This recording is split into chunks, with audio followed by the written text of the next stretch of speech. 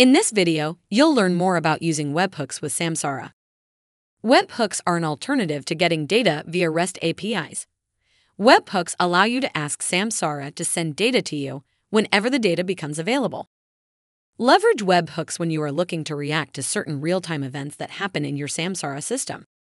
For example, you noticed that a route stop was arrived early and you want to update the dispatcher in the TMS view. Or a crash event was detected and you have an integration set up to automatically alert the authorities. Webhooks don't cover dense data like telematics data due to the sheer volume of webhooks that would get triggered and would need to be handled. Use data streaming connectors like Kafka for being pushed this higher density data instead.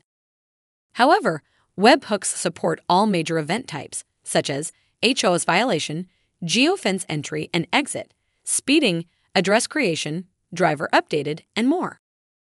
You can set up webhooks in two ways through our alerting system and platform event subscriptions.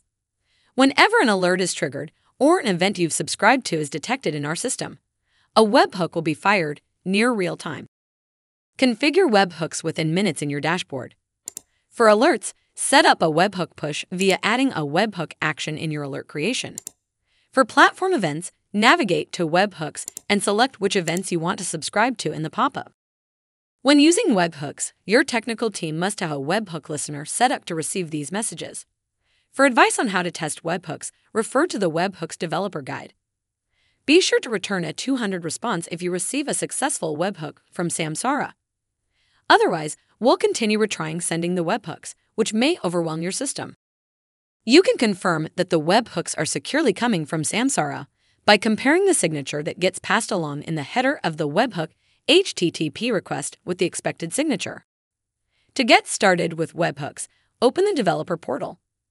Browse through the webhook reference documentation to review all the details of the webhooks that get triggered and learn what JSON to expect for each. And similar to API traffic, you can analyze any issues with your webhooks via the developer metrics page.